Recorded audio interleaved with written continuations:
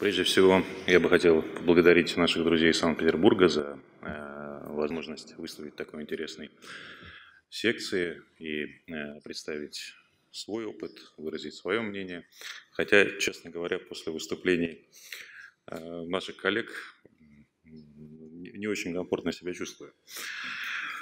Э, итак, глубоко уважаемые коллеги, э, действительно, Сравнительно давно э, мы начали заниматься лапароскопической хирургией в онкогинекологии, и э, я долгое время работал в институте Герцена, где, собственно, все это и э, начиналось. И вот на этом слайде вы видите такая историческая фотография. Это одна из первых операций лапароскопических, выполненных в институте Герцена в 2001 году. Мои коллеги Николай Александрович Гришин, Александрович Антипов, собственно, выполняют эту операцию. И за это время был э, пройден достаточно серьезный и долгий путь, который был связан с целым рядом труд, трудностей, потому что нужно было доказать и Э, себе и нашим другим коллегам, что э, все-таки лапароскопически оперировать можно, и это э, не хуже, чем открытая хирургия.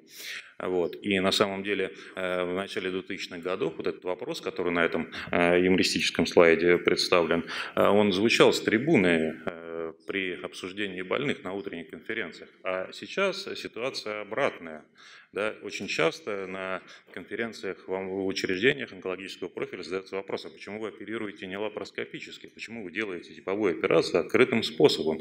И, э, коллеги, я очень рад, что наконец мы дошли до того дня, когда мы сегодня все обсуждаем результаты рандомизированного исследования Э, посвященного радикальной э, гистерэктомии лапароскопической. Да, еще, а если открутить лет на 10-15 назад, собственно, об этом даже подумать было страшно.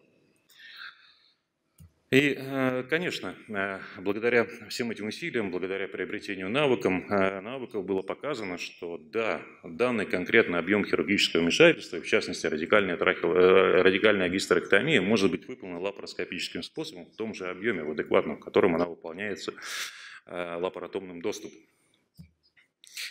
И э, за это время, за э, вот те годы, которые прошли в отношении освоения лапароскопической хирургии, мы очень сильно продвинулись вперед. И Э, не только с точки зрения э, освоения техники этих операций, но и с точки зрения э, технологического обеспечения этих операций. Посмотрите, вот это реальное видео 2004 года, когда, которое мы представляли на одной из российских конференций, когда мы осваивали технику лапароскопической тазовой лимфоденектомии. И это случайное видео, взятое вот случайным образом с жесткого диска, записано в прошлом году. Посмотрите, какая разница. Разница в визуализации, разница в движении хирурга. Да, и сегодня э, мы можем многое. И, в принципе, вот за последние годы да, мы набирали, набирали обороты, и все было хорошо. Э, мы видели, что да, все работает, мы движемся вперед, и вроде бы результаты ретроспективных исследований подтверждают нам, что мы можем безопасно использовать этот подход при э, раке шейки матки. Рандомизированные исследования при раке эндометрии показали эффективность этого подхода, и даже там многие ретроспективные исследования по поводу пограничных и злокачественных опухолей яичников тоже говорили о хороших результатах применения этого, этой технологии. И вот сегодня э, Luck Trail пришел. Э, и, э, собственно, разные вся вот, онкогинекологическая общественность разделилась на несколько разных групп. Те, которые всегда были адвокатами лапароскопической хирургии, активно ее внедряли, да, ну, конечно, расстроились, обидно, столько сил потрачено, такой путь пройден, да, и, собственно, мы верили в это, мы были убеждены, и сейчас вот, вынуждены увидеть, что на самом деле не все так хорошо. Вот. Э, другая группа людей – это те, кто никогда не был сторонником лапароскопической хирургии, а наоборот, э, выступал против. И сейчас они нам говорят, вот вы видите, мы же говорили, э, что не надо использовать лапароскопическую хирургию, что это зло, это вред для больных. И э, еще одна очень большая группа наших коллег-докторов, которые вроде бы и хотели бы осваивать эти технологии, да, но теперь они не знают, что с этим делать. Э, вот. А есть еще группа людей, которые, собственно говоря, это вообще о чем мы разговариваем, да, мы же э, жили без этого, и, в принципе, все хорошо, и нам это и не надо.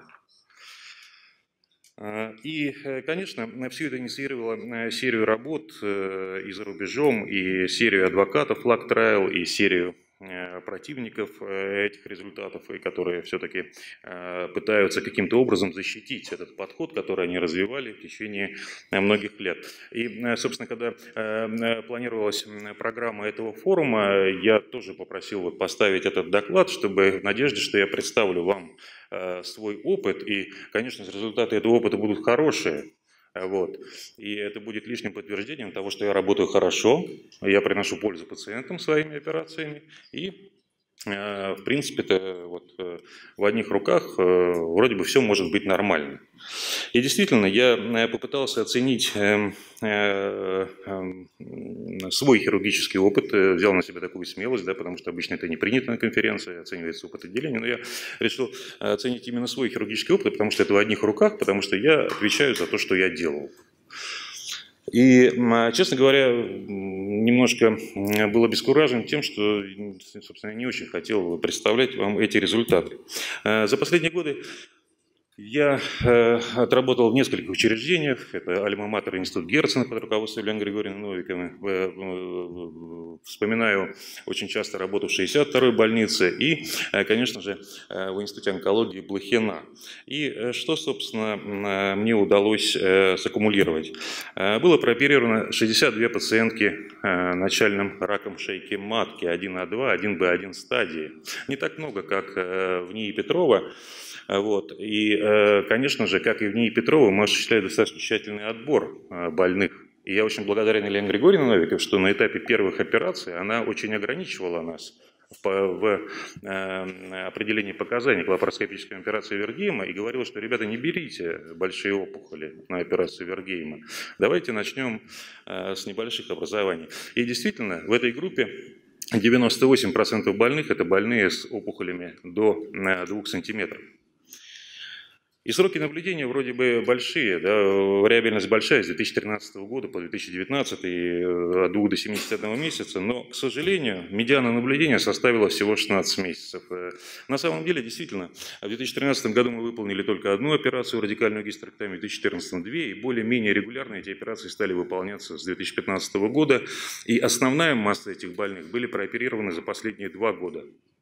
Вот, поэтому, конечно, э, при медиане 16 месяцев говорить о том, что я вам представлю какие-то объективные результаты и скажу, что да, вот э, все хорошо и э, все делаем правильно, и результаты хорошие, конечно же, нет.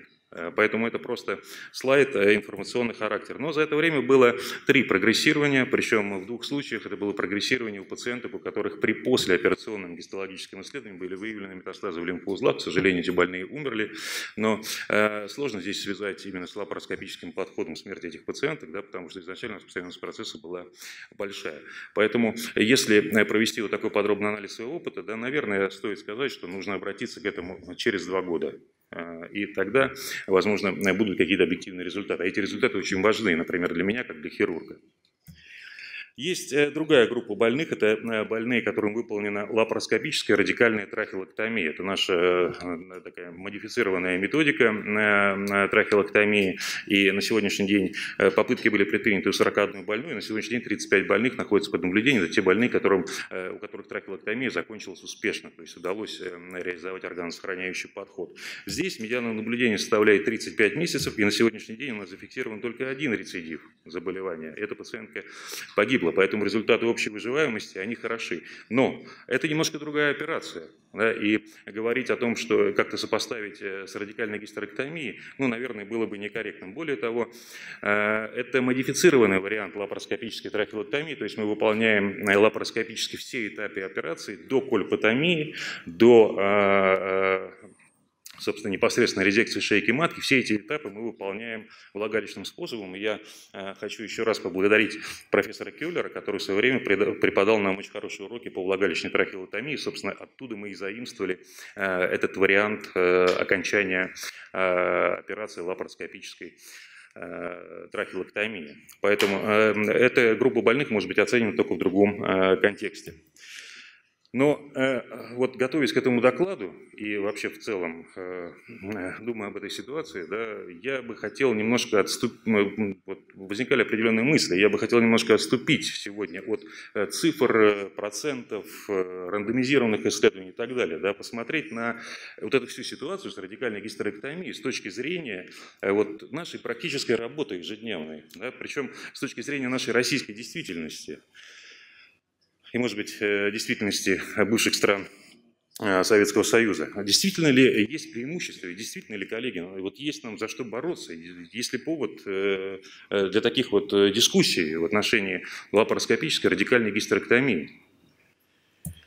А что эта операция может принести для пациента? Мы всегда как аксиому воспринимаем, что да, лапароскопическая хирургия имеет определенные преимущества перед открытой хирургией. И именно поэтому мы, собственно, и внедряли лапароскопическую хирургию, чтобы реализовать эти преимущества у этих онкогинекологических больных. Но а, давайте вот объективно посмотрим на вещи. Да? Мы знаем, что э, радикальная гистерэктомия лапароскопическая сопровождается низкой кровопотерей. А что, у нас э, радикальная гистерэктомия открытая, э, каждая больная требует переливания крови?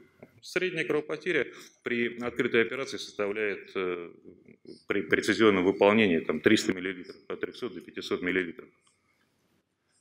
По крайней мере, это тот опыт, который есть э, у меня. Да, бывают кровопотери побольше, но и при лапароскопической хирургии бывают ситуации, когда кровопотеря существенная. Поэтому, наверное, этот фактор не является каким-то критическим. Частота э, переоперационных осложнений различных, в целом исследования показывают, что они более-менее сравнимы. Да, есть и лимфореи, есть и атония мочевого пузыря, а, есть и лимфокисты и в той и другой группе. И различия, э, различия не являются критичными. Качество жизни больных да, конечно, мы все время говорим о качестве жизни, да, что вот пациентка, э, качество жизни после лапароскопической операции лучше. Но вот последние исследования, мы не проводили собственных таких исследований, последние исследования показали, что в ближайший послеоперационный период качество жизни больных после лапароскопической операции лучше, а дальше нет, нет различий между открытой операцией и лапароскопической. Низкая вероятность развития спаечного процесса – это не органосохраняющая операция. Насколько нам это нужно э, преимущество, насколько оно важно для нас, да, наверное, важно, но далеко не каждая больная после радикальной гистерэктомии, выполненной открытым способом, э, дальше оперируется по поводу спаечной тонкощечной проходимости. Поэтому, э, наверное, это тоже такой фактор спорный. И, конечно, бесспорным преимуществом является косметический результат. Возможно, э, вот мои коллеги, которые меня слушают, сейчас э, удивляются тому, что я говорю, но на самом деле э, все-таки нужно всегда смотреть на вопрос немножко с разных сторон, да, не только со стороны защиты и поддержки его, но и с другой стороны. Это что касается больной. Следующий момент. Что для хирурга? Какие преимущества есть э, в э, выполнении э, хирургом радикальной лапароскопической гистерэктомии? Я не говорю про лапароскопическую тазовую лимфоденэктомию с гистерэктомией или гистерэктомию по поводу рака эндометрия. Я говорю именно про радикальную гистерэктомию. Это, конечно, длительный период обучения. Сколько сил нужно потратить и времени для того, чтобы на хорошем уровне овладеть этой техникой? Эта операция не делается с лету. И вообще, как вот сказал профессор э, Кузнецов недавно в беседе со мной, он сказал, что онкогинеколог, который овладел операцией Вергейма, да, он э, овладел э, всей онкогинекологической хирургии практически. Да? Поэтому, конечно, это одна из самых сложных операций, и они часто бывают очень разные от больной к больной. Здесь много сложностей. И поэтому, конечно, длительный период обучения требуется для открытой операции, а для лапароскопической еще больше. Э, трудозатраты. Что я под этим имею в виду? Ну вот э, средняя продолжительность лапароскопической радикальной гистерэктомии 3,5-4 часа. И в это время хирург стоит часто в вынужденном положении. Да?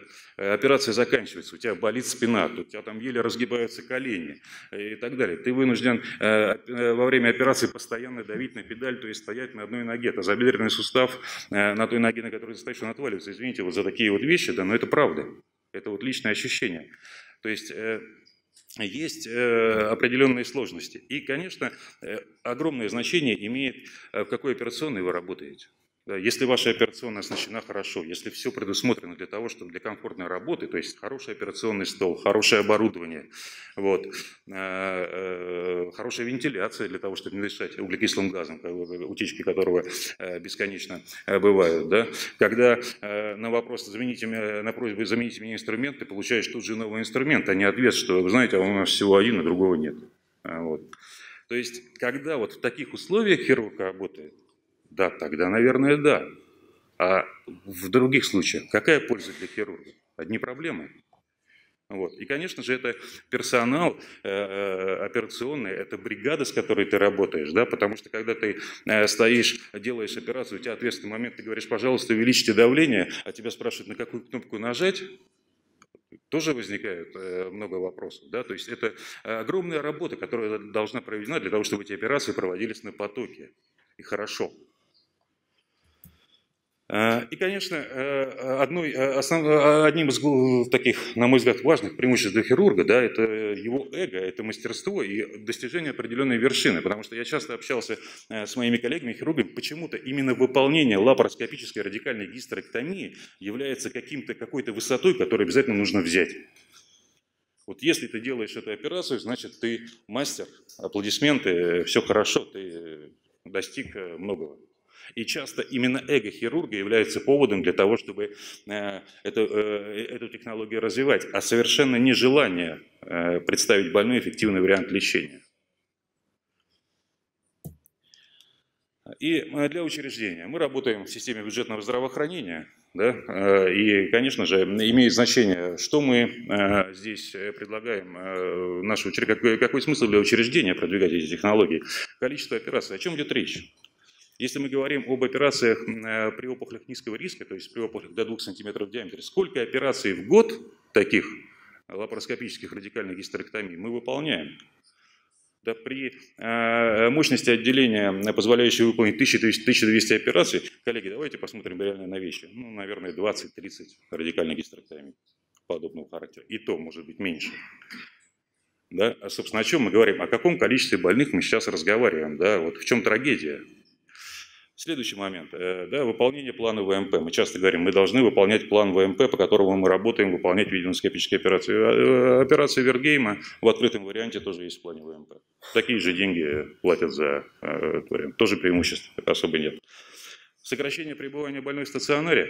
Да, безусловно. Больная может быть выписана раньше, чем больная после открытой операции. На 2-3-4 дня. Э, разница не очень большая. Э, и на самом деле у меня есть опыт работы в коммерческой клинике, и там это важно. А мы работаем с вами в федеральных государственных бюджетных учреждениях или городских государственных бюджетных учреждениях. Меня никто не заставляет выписывать больную на вторую, третью сутки. Более того, у меня нет э, совершенно в этом заинтересованности, да, потому что лимитирующим фактором для меня является не оборот койки, вот, не сроки пребывания больных в стационаре, а лимитирующий фактор пропускная способность операционной. Если бы у меня было бы 10 операционных, да, я бы выписывал больных на третьи сутки. Если у меня одна операционная и очередь на месяц, зачем? А, у нас никто не заставляет больных выписывать рано. А, ОМС этого не требует. И, конечно же, экономическая эффективность. Эффективны ли эти операции для э, учреждений в сегодняшнее, в настоящее время, во время, когда есть определенный кризис, да, когда мы предпочитаем использовать импортное оборудование, импортный инструментарий? Вот. Насколько это эффективно? Ну, скорее всего, нет. Никто не подсчитывал себестоимость этих операций. Ну, вот, но э, тем не менее. И вот э, подумав обо всех этих факторах, да, коллеги, э, я для себя, как хирург, потративший огромное количество сил на эти операции, а сейчас часто выслушивающий критику в свой адрес, я задаю себе вопрос, а зачем я это делаю? Зачем? Сколько больных ко мне обращается с просьбой, Алексей Сергеевич, выполните мне лапароскопическую радикальную гистерэктомию?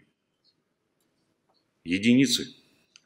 Наоборот, они приходят, эти пациентки, и когда ты говоришь им, вы знаете, у вас можно сделать лапароскопическую операцию, что они говорят? А мне онкогинеколог по месту жительства сказал, что э, ни в коем случае не соглашаться, потому что вы мне разнесете опухоль по всей брюшной полости. Они приходят уже подготовленные. А все остальные даже не знают о том, что э, такой подход возможен. И им на самом деле, когда к вам приходит пациентка, по большому счету, в большинстве случаев ей все равно, как вы ее прооперируете. У нее одна цель, чтобы вы вылечили ее от этой опухоли. Вот. Поэтому э, вопрос, э, о чем мы говорим, да, почему мы это все вот так вот активно обсуждаем, для меня после э, вот таких мыслей, да, он не очевиден, собственно, зачем. И что, собственно, мы получаем в результате LACC trial, да, какие последствия этого всего? Изменение стандартов? Да, конечно, они уже меняются. Об этом было сказано предыдущими докладчиками. Запрет на применение лапароскопической хирургии при раке шейки матки, я думаю, что это невозможно. Вот. По крайней мере, у нас в стране, скорее всего, точно. Но каждый хирург, он должен понимать, с чем он имеет дело и какие риски он несет, может собственно, э, какую ситуацию он может спровоцировать для пациентки. Да? И когда он принимает решение о выполнении лапароскопической радикальной гистерэктомии, хирург э, все-таки должен задуматься над тем, что он делает.